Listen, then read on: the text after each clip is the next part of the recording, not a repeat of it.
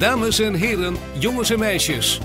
Spotlight Musical Productions presenteert Afscheidsmusical Hotel te koop. De leukste musical van het jaar. Het hotel van Butler Bert staat te koop. Maar verder lijkt alles een normale, chaotische gangetje te gaan in het hotel.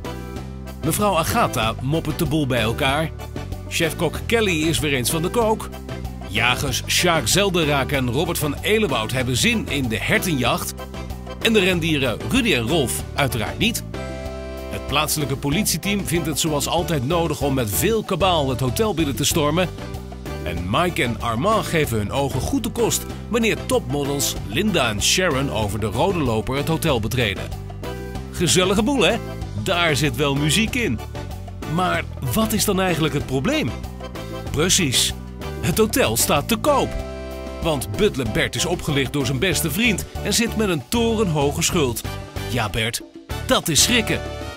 Noodgedwongen verkoopt hij het hotel aan deze twee linker dames. Valentina en Roberta van modehuis Dashing Diamonds. En deze twee dames zetten de boel in het hotel compleet op zijn kop. Eh, jongens? Nou, dat is beter. Valentina en Roberta dus. Twee dames om rekening mee te houden. Lekker centjes verdienen en een ander het vuile werk laten opknappen. Maar pas op, er is nog meer aan de hand in het hotel. In de lobby van het hotel staat een kast.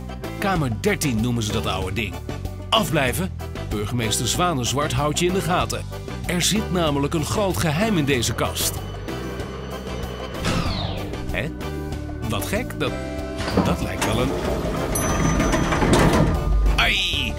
Wegwezen nu! Voor je het weet krijg je met Zwanenzwart aan de stok. En dan loopt het niet goed met je af. Goed, spanning genoeg dus. Maar hoe zit het eigenlijk met de liefde? Mike en Armand proberen de harten van topmodels Linda en Sharon te veroveren. Jongens, is dit eigenlijk wel een geschikte manier? Kijk die dames eens schrikken. Nee, die vallen denk ik meer voor het type gentleman. Precies, zoals deze heren. Maar waarom houden deze kerels het hotel zo nauwlettend in de gaten? En waarom lijken ze zo op elkaar? En ze hebben ook nog vreemde lampjes en een antenne op hun hoofd. Dat is gek.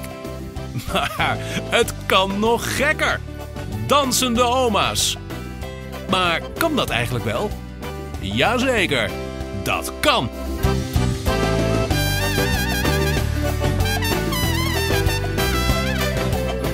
Nou ja, genoeg stof om jullie afscheidsavond mee te vullen lijkt me.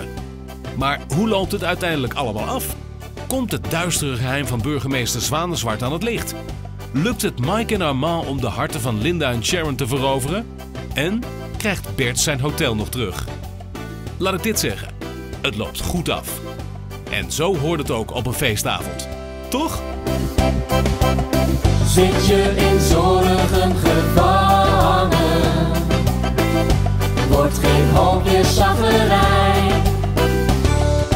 Ja, ja, nee, nee, twijfel nu niet langer. Niets of niemand krijgt jou blij. Ja, ja, nee, nee, twijfel nu niet langer. Niets of niemand krijgt